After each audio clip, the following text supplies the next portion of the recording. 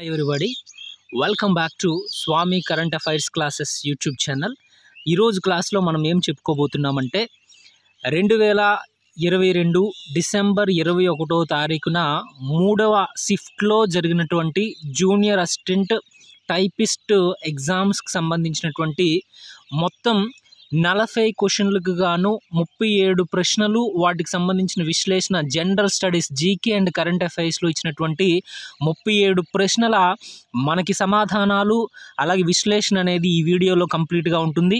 ఈ యొక్క వీడియో మీరు చూసినట్లయితే ఈ యొక్క రెండు వేల ఇరవై రెండు డిసెంబర్లో జరుగుతున్నటువంటి ఏపీ హైకోర్టు మరియు జిల్లా కోర్టులకు సంబంధించి ఈ యొక్క జూనియర్ అసిస్టెంట్ ఎగ్జామ్స్ కానీ సబార్డినేట్ ఎగ్జామ్స్ కానీ ప్రాసెస్ సర్వర్కి సంబంధించి కానీ ఫీల్డ్ అసిస్టెంట్లకు సంబంధించి కానీ ఏ విధమైన పోస్టులకైనా సరే ఈ యొక్క వీడియో ద్వారా మీకు కరెంట్ అఫైర్స్ అనేవి ఏ విధంగా అడుగుతున్నాడు పాలిటీ ఏ విధంగా అడుగుతున్నాడు అన్నీ కూడా మీకు అవగాహన అవడం జరుగుతుంది.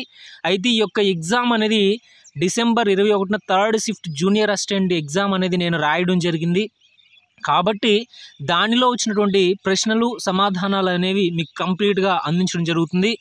జన్ అంటే డిసెంబర్ పంతొమ్మిదో తారీఖు నుంచి ప్రారంభమైనటువంటి ఈ యొక్క కోర్ట్ ఎగ్జామ్స్ అనేవి జనవరి రెండు వరకు కూడా జరగనున్నాయి. కాబట్టి చాలామంది అభ్యర్థులు ఈ అవకాశాన్ని అంటే ఈ యొక్క జాబ్ ఉద్యోగ నోటిఫికేషన్ అందిపుచ్చుకునే అవకాశం ఉంది. కాబట్టి ఈ యొక్క ప్రతి అంటే టాపిక్ కరెంట్ అఫైర్స్ జీకేలో జనరల్ స్టడీస్లో నలభై మార్కులు ప్రతి ఎగ్జామ్కి ఉంది. కాబట్టి అసలు క్వశ్చన్స్ ఏ విధంగా వస్తున్నాయి అనేది మీకు సంపూర్ణంగా ఈ యొక్క వీడియోలో మీకు చెప్పడం అనేది జరుగుతుంది. కాబట్టి క్లాస్లోకి వెళ్ళే ముందుగా దయచేసి వీడియో నచ్చినట్లయితే మీ ఫ్రెండ్స్ అందరికి వీలైనంత వరకు షేర్ చేయండి. దయచేసి నన్ను అందరూ కూడా ఎంకరేజ్ చేయండి. అలాగే మన ఛానల్ ఫస్ట్ టైం చూస్తే సబ్స్క్రైబ్ చేసుకోండి. క్లాస్లోకి వెళ్ళిపోతుంది చూద్దాం. ఫస్ట్ క్వశ్చన్ ఏంటంటే ఇటీవలే కాలంలో అంతరించిపోతున్న పెలికాన్ పక్షులు వాటిని గోడ బాతులు అంటారు. ఈ పెలికాన్ పక్షుల సంరక్షణార్థము ఆంధ్రప్రదేశ్ ప్రభుత్వము ఐఐఎం ఉత్తరాఖండ్తో ఒప్పందం చేసుకుంది. అయితే ఈ యొక్క ఐఐఎం ఉత్తరాఖండ్తో ఈ యొక్క పెలికాన్ పక్షుల సంరక్షణ కోసం శ్రీకాకుళంలో ఒప్పందం ప్రకారం శ్రీకాకుళంలో కలి ఉన్నటువంటి ఈ పక్షి సంరక్షణ కేంద్రం ఏంటి? నౌపాడ చిత్తడి నేలలో ఉంది. ఈ యొక్క పక్షి సంరక్షణ కేంద్రం శ్రీకాకుళంలో ఏంటి అని అడిగారు. ఇటీవలే కాలంలో పిలికాన్ పక్షులు ఈ పక్షి సంరక్షణ కేంద్రంలో చాలా వరకు మరణించాయి. కాబట్టి వాటి రక్షణార్థం వీటి మధ్య ఒప్పందం జరిగింది. శ్రీకాకుళంలో ఉన్నటువంటి ఈ పక్షి సంరక్షణ కేంద్రం ఏంటని అడిగారు. ఆప్షన్స్ ఏంటంటే అరణ్యార్ నేలపట్టు కొల్లేరు తేలి నీలాపురం అనే ఆప్షన్స్ ఇచ్చారు. అయితే దీనికి సరైన సమాధానం ఏంటంటే తేలి నీలాపురము దీనికి సరైన సమాధానం ఏంటంటే తేలి నీలాపురము దీనికి సరైన సమాధానంగా మనం తేలి నీలాపురాన్ని మీరు గుర్తుపెట్టుకోవాలి. కొల్లేరు అనేది పశ్చిమ గోదావరిలో ఉంది. నేలపట్టు అనేది నెల్లూరులో ఉంది.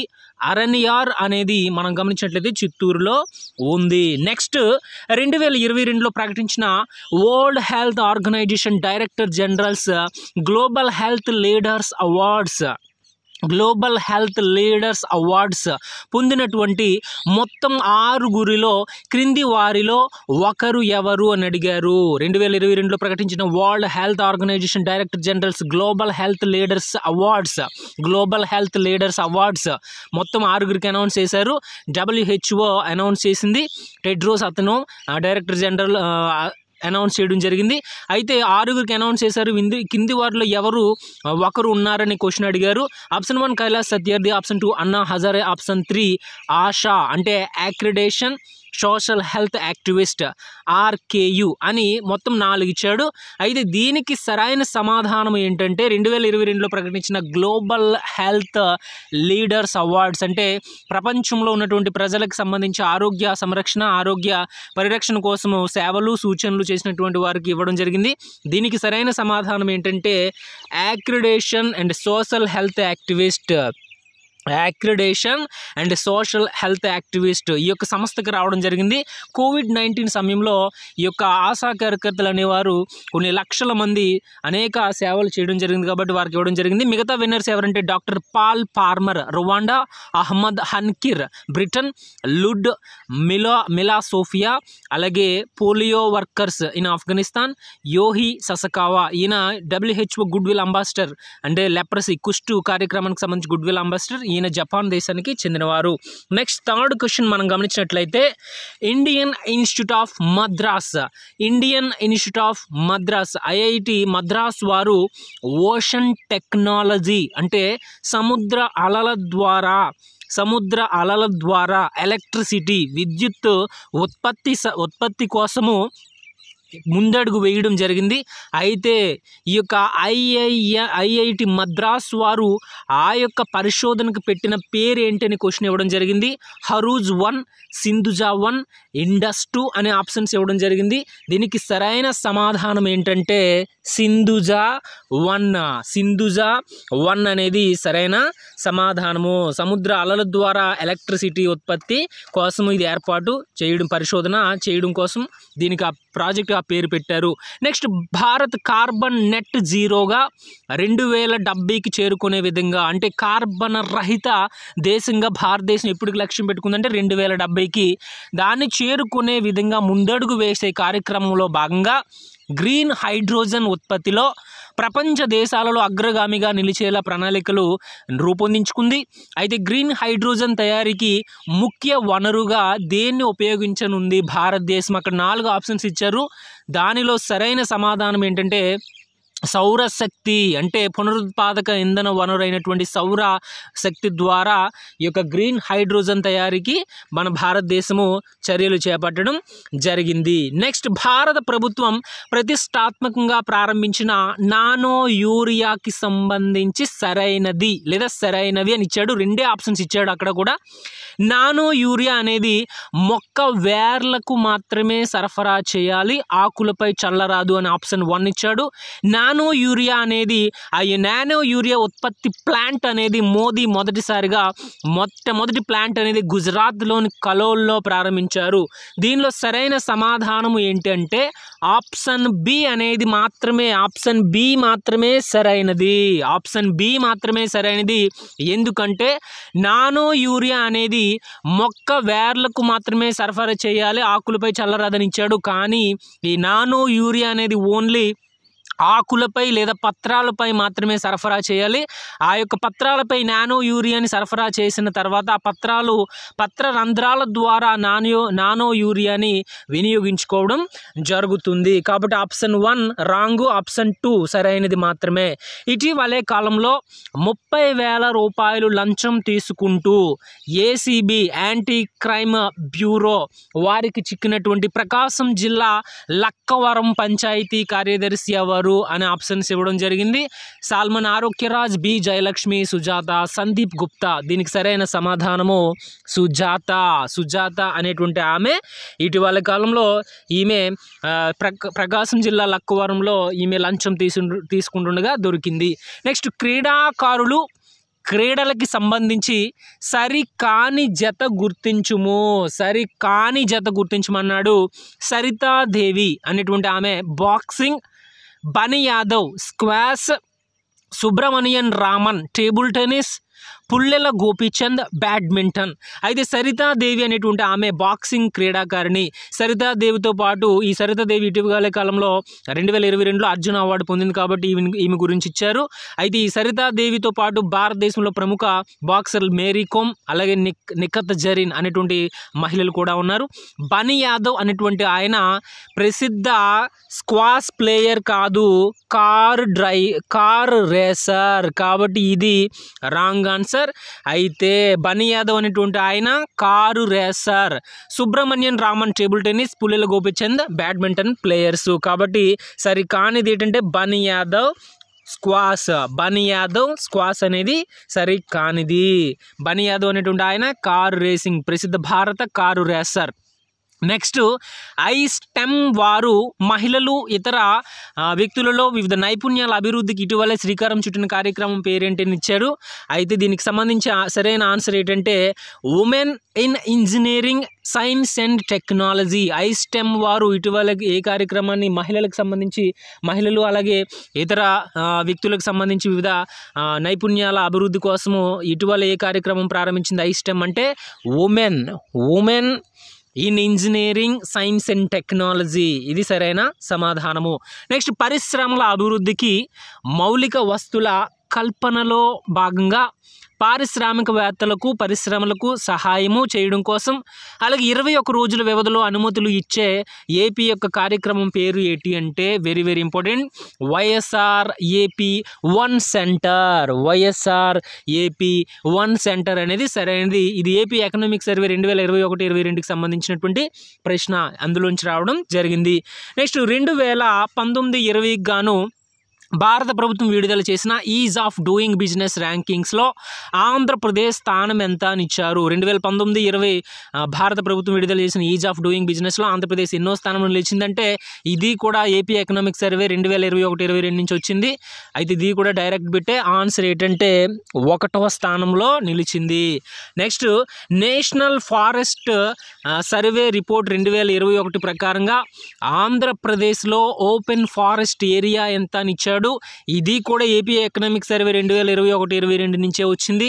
నేషనల్ ఫారెస్ట్ రిపోర్ట్ ప్రకారంగా ఆంధ్రప్రదేశ్లో రెండు వేల ఇరవై ఒకటి ప్రకారంగా ఏపీలో ఫారెస్ట్ ఓపెన్ ఫారెస్ట్ ఏరియా మొత్తం మొత్తం ఆంధ్రప్రదేశ్లో అటవీ విస్తీర్ణము ముప్పై ఏడు వేలు సంథింగ్ ఉంది.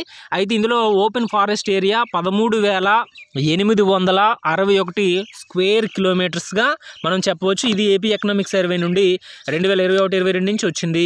Next good govern good governance report two thousand twenty one డిసెంబర్లో ఈ గుడ్ గవర్నెన్స్ రిపోర్ట్ని కేంద్ర హోంశాఖ విడుదల చేసింది అమిత్ షా. దానిలో ఆంధ్రప్రదేశ్ మొదటి విభాగంలో అంటే విభాగం వన్లో దేనిలో తొలి స్థానం నిలిచిందని క్వశ్చన్ ఇవ్వడం జరిగింది. అయితే దీనికి సరైన సమాధానం ఏంటంటే అగ్రికల్చర్ అండ్ ఎల్లీడ్ సెక్టార్స్ వ్యవసాయము దాని అనుబంధ విభాగాల్లో ఆంధ్రప్రదేశ్ తొలి స్థానంలో నిలిచింది. నెక్స్ట్ మన్కడింగ్కి సంబంధించి క్రింది వాటిలో సరైనది. మన్కడింగ్. మన్కడింగ్ అనేటువంటి ఈ పదము క్రికెట్కి సంబంధించింది. మన్కడింగ్ అనే పదము దిగ్గజ బౌలర్ అయినటువంటి అశోక్ మన్కడ్ పేరు మీద నుండి వచ్చింది. అలాగే నాన్ స్ట్రైకర్ ఎండ్లో అటువైపు బ్యాట్స్మెన్కి అటువైపు ఉన్నటువంటి పర్సన్ ఎవరైతే ఉన్నారో నాన్ స్ట్రైకర్ ఎండ్లో ఉన్న బ్యాట్స్మెన్ క్రీజ్ వదిలి ముందుకు వెళ్తే ఆ సమయంలో బౌలర్ అతన్ని రన్అట్ చేసే విధంగా ఈ నిబ ఈ నిబంధన తొలిసారి మెరిల్ బోన్ క్రికెట్ క్లబ్ క్లబ్లో చేర్చబడింది. ఇందులో ఒకటి మాత్రమే సరైంది. ఆప్షన్ టూ మాత్రమే సరైంది.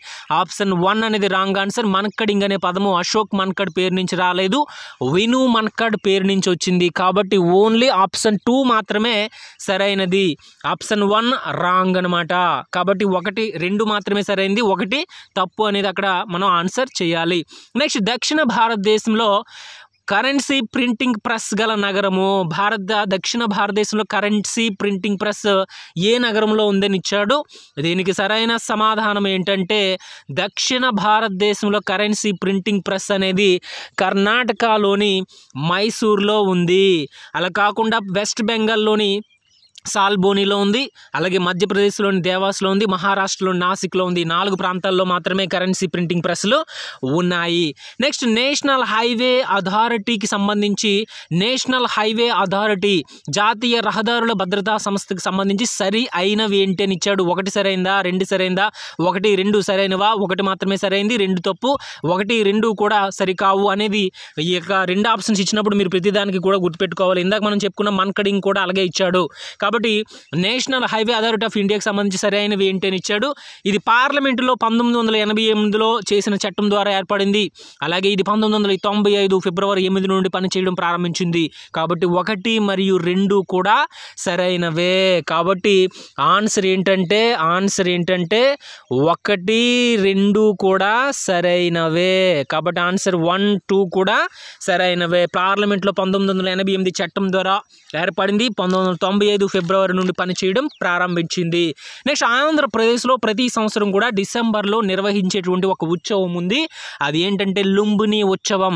ఇది ఏ మత పునరుద్ధరణకు ఈ ప్రతి సంవత్సరం కూడా దీన్ని నిర్వహిస్తారు అంటే సరైన సమాధానం ఏంటంటే బౌద్ధ మతము. బౌద్ధ మతము అంటే బుద్ధుడు లుంబుని లుంబిని వనంలో నేపాల్లోని లుంబిని వనంలో పుట్టాడు కాబట్టి ఆ యొక్క లుంబిని వనంలో బుద్ధుడు జన్మించినటువంటి లుంబినిని ఆధారంగా చేసుకుని లుంబిని ఉత్సవాలు ఆంధ్రప్రదేశ్లో ప్రతి సంవత్సరం నిర్వహిస్తారు. అయితే బౌద్ధ మత పునరుద్ధరణకు. అలాగే హిందూ దైవమైనటువంటి బ్రహ్మదేవుణ్ణి స్మరిస్తూ ప్రతి సంవత్సరం కూడా బ్రహ్మోత్సవాన్ని నిర్వహించే ఆంధ్రప్రదేశ్లోని దేవాలయం ఏంటి అనే క్వశ్చన్ ఇవ్వడం జరిగింది. దీనికి సరైన సమాధానం ఏంటంటే ప్రతి సంవత్సరం కూడా ఆంధ్రప్రదేశ్లోని తిరుపతి దేవాలయంలో తిరుపతి దేవాలయంలో తిరుపతి బ్రహ్మోత్సవాలను మీరు చదివే ఉంటారు వినే ఉంటారు కాబట్టి తిరుపతిలో బ్రహ్మదేవుని స్మరిస్తూ బ్రహ్మోత్సవాలు ఉండడం జరుగుతుంది. అలాగే ఇటీవల వార్తల్లో నిలిచినటువంటి లేపాక్షి ఆలయం యునెస్కో వారసత్వ కట్టడాల జాబితాలో దీన్ని చేర్చే విధంగా ఇటీవల చర్యలు తీసుకోవడం జరిగింది. కాబట్టి ఇటీవల వార్తలు నిలిచిన లేపాక్షి ఆలయానికి సంబంధించి సరికానిది అని అనిచ్చాడు ఈ ఆలయంలో రాణులు రాజులు ఇతర అందమైన అనేక చిత్రాలను నిర్మ అనేక చిత్రాలను వేయడం జరిగింది. ఇక్కడ గాలిలో వేలాడే స్తంభం ఉంటుంది. అయితే దీని కింద నుంచి పేపర్లను అటు ఇటు కదిలించవచ్చు. దీనికి మరొక పేరు రాగభూషణ దేవాలయము. కాబట్టి దీనికి మరో పేరు రాగభూషణ దేవాలయం అనేది సరి కాదు కాబట్టి ఇది సరికాదనమాట మిగతా రెండు సరైనవే. నెక్స్ట్ ఏకశిలతో నిర్మించిన వరంగల్ కోట ఏ వంశస్థులు నిర్మించారు? వరంగల్ కోటను ఏ వంశస్థులు నిర్మించారని అడిగాడు. సరైన సమాధానం ఏంటంటే కాకతీయులు కాకతీయుల కాలంలో వరంగల్ కోటను నిర్మించడం జరిగింది. అలాగే క్రింది వాణిలో సరైనది గుర్తించండి అని అడిగాడు. ఒకటి మాత్రమే సరైందా? ఒకటి రెండు సరైనవా? రెండు మాత్రమే సరైనదా అని ఇచ్చాడు ఆప్షన్స్లో. పంతొమ్మిది వందల యాభై నాలుగు అక్టోబర్ ఒకటిన ఆంధ్ర రాష్ట్రం ఏర్పడింది. మద్రాస్ ప్రెసిడెన్సీలో తెలుగు మాట్లాడే అందరితో తెలుగువారి ఆంధ్ర రాష్ట్రం ఏర్పడింది అని రెండు ఆప్షన్స్ ఇచ్చాడు.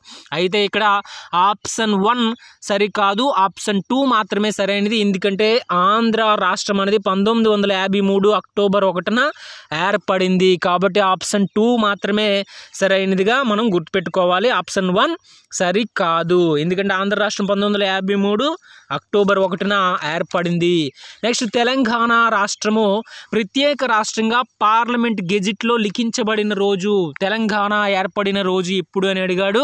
ఆన్సర్ ఏంటంటే రెండు వేల పద్నాలుగు జూన్ రెండు రెండు వేల పద్నాలుగు జూన్ రెండు. నెక్స్ట్ భారత సుప్రీంకోర్టుని భారత రాజ్యాంగంలో ఏ అధికరణాలు తెలియజేస్తున్నాయని కూడా క్వశ్చన్ ఇచ్చాడు. నూట ఇరవై నాలుగు నుండి నూట నలభై ఏడు వరకు ఉన్నటువంటి ఆర్టికల్స్ అనేవి తెలియజేస్తున్నాయి. నెక్స్ట్ భారత రాజ్యాంగానికి సంబంధించి సరైనది ఏంటని అడిగాడు. భారత రాజ్యాంగం అమల్లోకి వచ్చినప్పుడు నాలుగు వందల ఒక అధికరణలు ఎనిమిది షెడ్యూళ్ళు ఇరవై ఒక భాగాలు ఉన్నాయన్నాడు ఇది సరికాదు. భారత రాజ్యాంగం అమల్లోకి వచ్చినప్పుడు మూడు వందల తొంభై ఐదు అధికరణలు ఎనిమిది షెడ్యూళ్ళు ఇరవై రెండు భాగాలు ఉన్నాయి. భారతదేశంలో నలభై నాలుగు రాజ్యాంగ సవరణ ద్వారా లౌకిక సామ్యవాద పదాలు చేర్చారన్నాడు. ఇది కూడా సరైన సమాధానం కాదు. నలభై రెండవ రాజ్యాంగ సవరణ ద్వారా పంతొమ్మిది వందల డెబ్బై ఆరులో చేర్చారు. ప్రాథమిక విధులు రాజ్యాంగంలో మూడో భాగంలో కలవన్నాడు. ఇది మాత్రమే సరైనది. ఓన్లీ ఆప్షన్ త్రీ మాత్రమే సరైనది.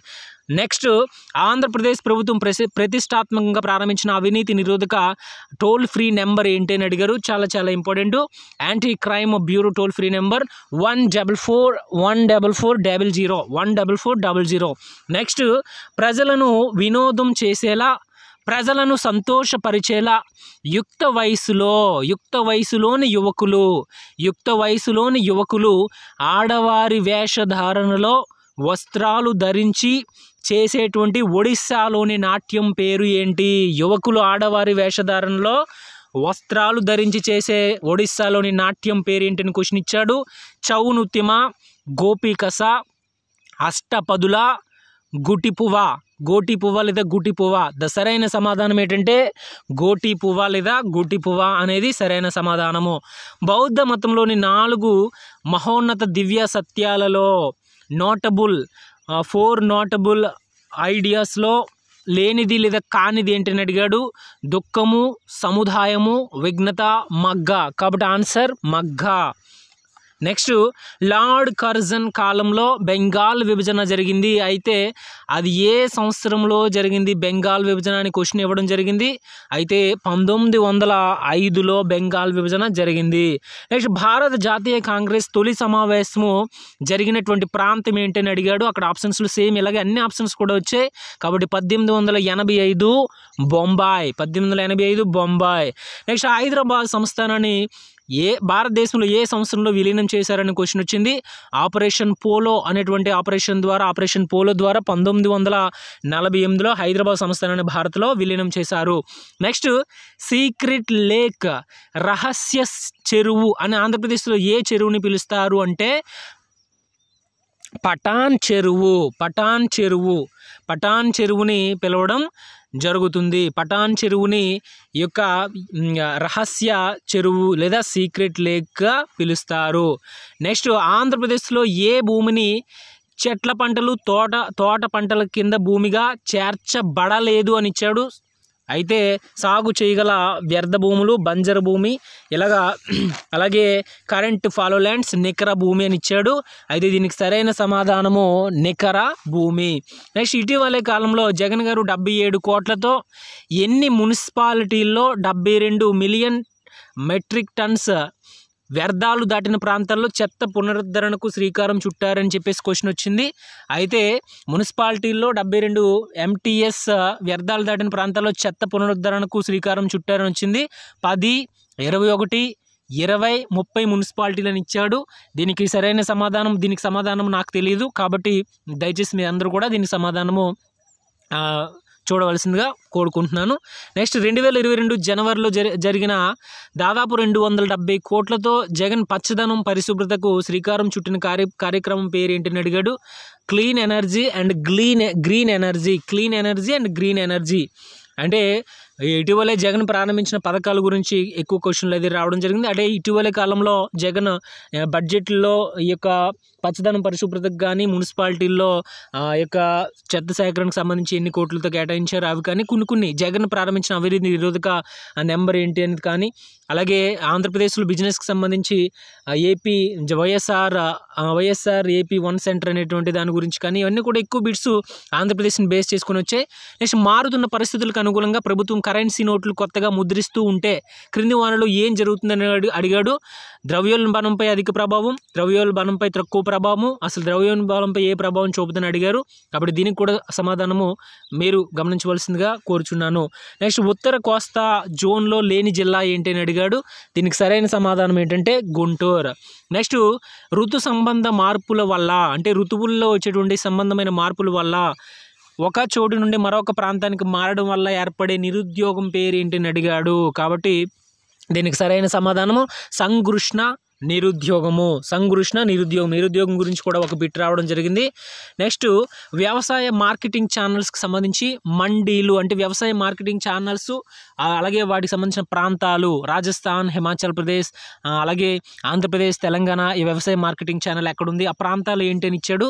కాబట్టి ఇది కూడా మీరు గమనించవలసింది క్వశ్చన్ అక్కడి నుంచి వచ్చింది కాబట్టి మీరు గమనించవలసిందిగా కోరుచున్నాను. నెక్స్ట్ ఆరోహణ అవరోహణ క్రమంలో ఐదవ రాగం పేరు ఏంటని అడిగాడు. అయితే దీనికి సరైన సమాధానం కూడా మీరు చూడవలసిందిగా కోరుకుంటున్నాను. సో ఫ్రెండ్స్ ఇది మొత్తం ముప్పై ఏడు క్వశ్చన్ మనము క్లియర్గా చెప్పుకోవడం జరిగింది. ఈ థర్టీ సెవెన్ క్వశ్చన్స్ కూడా ఎగ్జాక్ట్గా థర్టీ సెవెన్ క్వశ్చన్స్ అనేవి వచ్చాయి. ఒక్క క్వశ్చన్ కూడా బయట నుంచి అనేది నేను చెప్పలేదు. అన్నీ కూడా ముప్పై ఏడు కూడా ఎగ్జామ్లో జరిగినాయే చెప్పాను. ఇది ఫ్రెండ్స్ ఈ రోజు క్లాసు. దయచేసి ఈ వీడియో నచ్చినట్లయితే లైక్ చేయడం అనేది మర్చిపోవద్దు. మీ ఫ్రెండ్స్ అందరికి కూడా షేర్ చేయండి. మన ఛానల్ని సబ్స్క్రైబ్ చేసుకోండి.